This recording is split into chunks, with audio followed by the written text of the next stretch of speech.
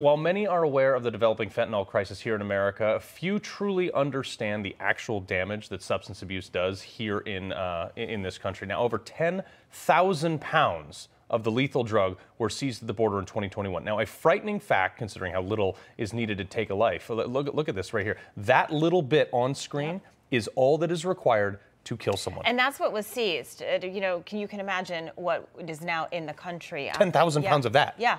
Uh, for more on this, let's welcome in co-founder and president of the Fentanyl Awareness Coalition, Virginia Krieger. Virginia, welcome to the show.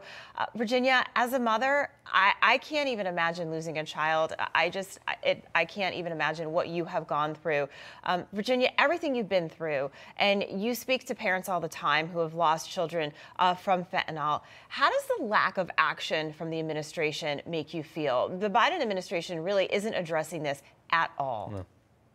Well, you're correct. They aren't. Um, they continue to double down on on trying to treat addiction. But what has happened is since illicit fentanyl infiltrated the black markets, it vectored itself through these fake pills and contaminated traditionally non-lethal party drugs like ecstasy and cocaine and it's now vectored into the general population and it, to be honest with you it's infuriating um, for eight years we people have a, tried to apply harm reduction principles to this crisis and yes it is affecting people within the substance use community, but only in, in, in the respect of how many times they're playing Russian roulette. Mm-hmm. Every single time a young person in this country tries a party drug or takes a pill, yeah. there's a one in 20 chance of instant death.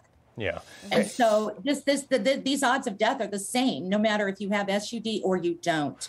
So now what we're we're burying children. Brianna right. Bacon, 16 years old. Karina Baldonado, 16 years old. Brianna Tessin, 14 years old. Connor Stowe, 15. Right. Jerian I mean, Manjar is 15. Amazing. That's what's happening. Yeah, it's amazingly tragic. But here's the thing: is like, look, I have I have a nine-year-old, I have a four-year-old, I have one on the way, and uh, you know, how do you have a conversation with a 16, 17, 18 year old kid and say, look, hey, don't do drugs? Every parent has that talk with, or just about every parent has that talk with their kid. And they're like, yeah, mom, yeah, dad, whatever, yeah, yeah, yeah. They yes man you.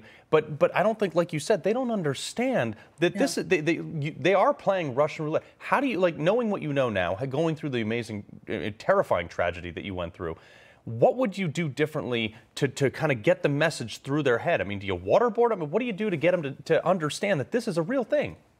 Well, the first thing we have to do is address this new demographic being affected, which, by the way, the fastest growing demographic for death are ages 12 to 24.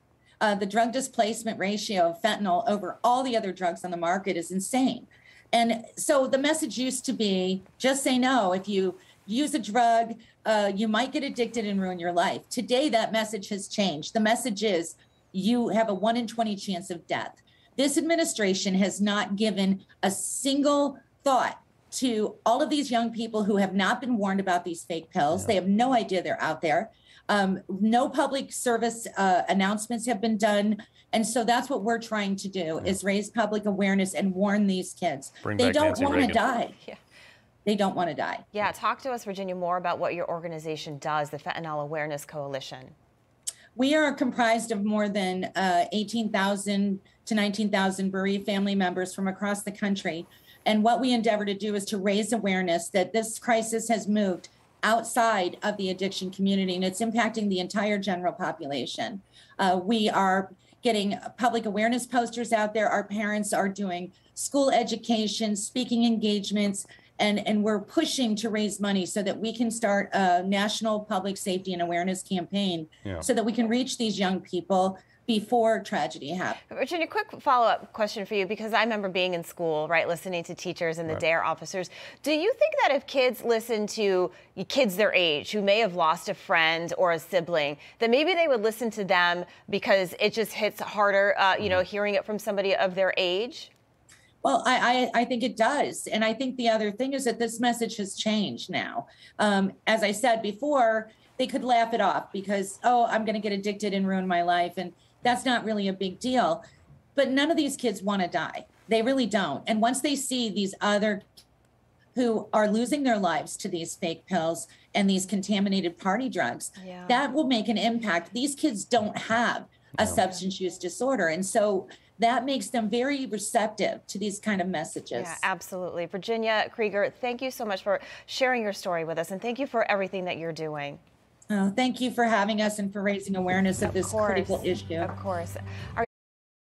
Hey, I'm Rob Finnerty. Thanks for watching. If you enjoyed this video, please join the conversation in the comments below. Don't forget to subscribe, too. Hit the bell icon to be alerted to breaking news. And remember, there's a whole lot more on Newsmax TV, America's fastest growing cable news network. Newsmax TV, we're real news for real people.